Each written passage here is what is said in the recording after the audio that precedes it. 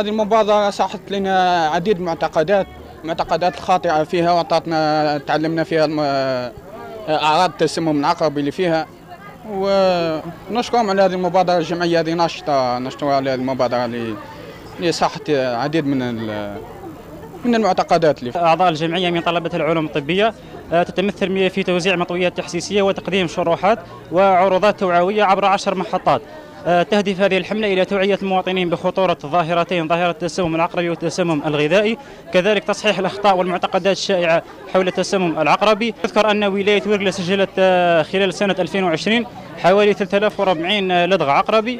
كان من بين هذه الحالات آه، خمس حالات وفيات.